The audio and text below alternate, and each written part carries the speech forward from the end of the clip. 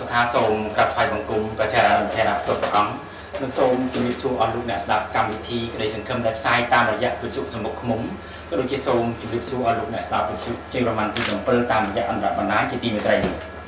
បាទនៅក្នុងការផ្សាយផ្ទាល់ថ្ងៃពិសេសនៅថ្ងៃនេះកម្មវិធីក្តីសង្ឃឹមក៏ដូចជាវិទ្យុជ័យបានទី7បានផ្ដល់កិត្តិយសយ៉ាងសំខាន់ពីលោកពូមុំសនងលោកជាប្រធាន គណៈបកសម្បុកឃុំសង្គមប្រជាធិបតេយ្យមកធ្វើការពិភាក្សាទាក់ទងនឹងរឿងនយោបាយដែលកំពុងតែវិវត្តក្តៅក្តៅនៅពេលបច្ចុប្បន្ននេះដូច្នេះនៅពេលនេះលោកពូមុំសំណងលោកកំពុងនៅក្នុងបន្ទប់ផ្សាយហើយខ្ញុំសូមជម្រាបសួរតែម្ដងអរគុណលោកពូដែលបានជើញចូលរួមដល់កិត្តិយសឲ្យកម្មវិធីក្តីសង្ឃឹមជាកិច្ចចាប់ផ្ដើមនេះខ្ញុំសូមការអនុញ្ញាតជំរាបសួរសុខទុក្ខពូដូចថាបែកគ្នាយូរហើយមិនបាយបានជួបគ្នាសោះមួយរយៈពេលហ្នឹងគេថារៀងរៀងខ្លួនពូចុះទៅធ្វើកិច្ចការងារតាមបណ្ដាខេត្ត បាទដូច្នេះជាកិច្ចចាប់ដើមនេះខ្ញុំសូមជម្រាបសួរអំពីសុខទុក្ខហើយទីមួយទៀតតើតើនឹងដំណើរការគណៈបកសម្បុកឃុំសង្គមប្រជាធិបតេយ្យវិញថាតើដំណើរការរៀបចំដល់ណាហើយបាទទីមួយសុខទុក្ខខ្ញុំមានទុក្ខទេមានតែសេចក្តីរីករាយចាស់ប៉ុណ្្នឹងហើយនឹងមានការធ្វើទៀតណាហើយវាជាសុខសប្បាយអត់មានអ្នកណាសប្បាយជាងខ្ញុំនេះក្នុង មនុស្សពិភពលោកនិយាយយ៉ាងហើយរឿងដំណើរការ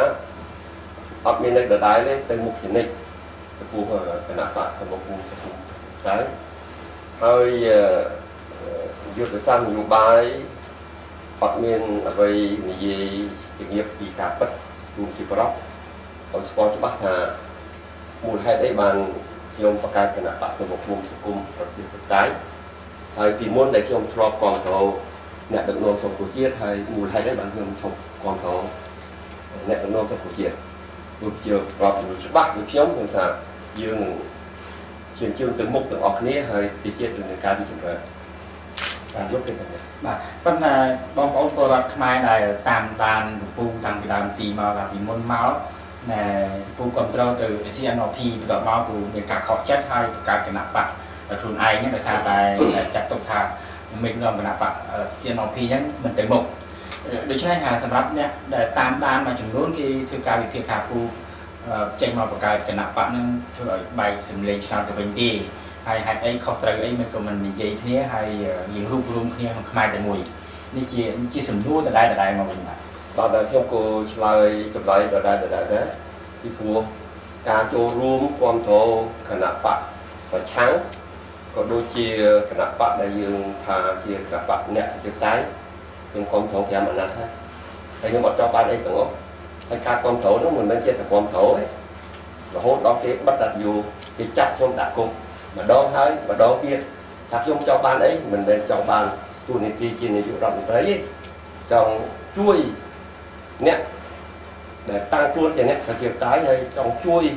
អ្នកតាំងខ្លួនជាអ្នកស្នេហាជាតិ ហើយការជួយហ្នឹងខ្ញុំអត់ដែលបានទៅចរចា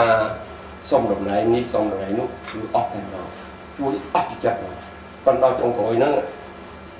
2013ហ្នឹងបានខ្ញុំឃើញថាអ្នកដឹកនាំកម្ពុជាហ្នឹងមិនមែនអ្នកនយោបាយរបាយគឺជាប្រវត្តិទេគឺអ្នកនយោបាយគឺដណ្ដើមបាយគឺជាប្រវត្តិពីព្រោះគាត់អត់ចង់ឈ្នះទេហើយទីទីគាត់ចង់នៅតែគណៈបកហើយ ដូចយើងដឹងទាំងអស់គ្នាហើយក្រោយពីការបុកឆ្នោត3ឆ្នាំកន្លងទៅគឺគាត់អត់បានធ្វើអ្វីទាំងអស់ហើយមិនត្រឹមតែគាត់អត់បានធ្វើទាំងអស់គាត់បកកបញ្ហាច្រើនណាស់សម្រាប់ប្រជាពលរដ្ឋហើយនឹងចាក់តោទៅក្នុងការវិចម្រើនរបស់ប្រជាជាតិ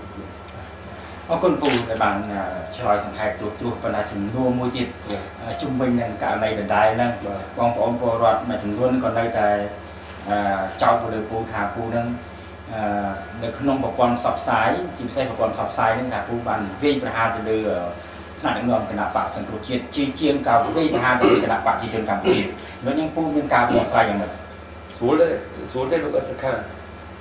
ពីមុនខ្ញុំគ្រប់គ្រងបើថាខ្ញុំមិនដែលគ្រប់គ្រងចុះថាខ្ញុំវាយប្រហារចុះពេលដែលខ្ញុំគ្រប់គ្រងរហូតដល់ខ្ញុំជាប់គុកជាប់ច្បាប់ហើយមិនមែនមួយអាណត្តិទេ4អាណត្តិព្រោះអាណត្តិទី1ខ្ញុំអត់បានចូលរួមទេ ប៉ុន្តែអាណត្តិទី2ទី3ទី4ទៀតខ្ញុំចូលរួមហើយពេលនោះអ្នកនោះមានទុកខ្ញុំថាមកពីលោកមកទាំងដូចចូលរួមជួយគ្រប់គ្រងបានពួកអ្នកទាំងអស់នោះអត់មានជោគជ័យមិនគុំថាទេឥឡូវខ្ញុំមិនមែនធ្វើសម្រាប់អ្នកទាំងអស់នោះទេប៉ុន្តែខ្ញុំបានជួយជំរុញអ្នកទាំងអស់នោះដែលគាត់អះអាងថាគាត់អ្នកនយោបាយនោះស្នេហាជាតិពិតប្រាកដខ្ញុំខំប្រឹងឥឡូវឃើញទាំងអស់គ្នាឃើញថា2013ហ្នឹងជាគាត់គ្រប់ទាំងអស់គ្នា ជំរុញគាត់ឲ្យទៅមុខមិនគាត់ក្រាញមិនចង់ទៅមុខហើយគាត់ការគាត់ទទួលអា55កៅអីហ្នឹងខ្ញុំសូមជំរាបមិនមែនលទ្ធផលនៃការបោះឆ្នោតទេគឺលទ្ធផលអ្វីដែលគូជបគេសម្រេចឲ្យអ្នកនឹងទទួលហើយគាត់ដឹងខ្លួនអាមូលហេតុនេះបានគាត់នាំប្រជាពលរដ្ឋប្រយុទ្ធជាពលរដ្ឋណែនាំជាពលរដ្ឋឲ្យធ្វើបាតកម្មទាំងអស់គ្នាហើយយើងក៏បានធ្វើដោយជឿជាក់ថាគាត់មិនព្រមទទួលលទ្ធផលអ្វី ដែលដែល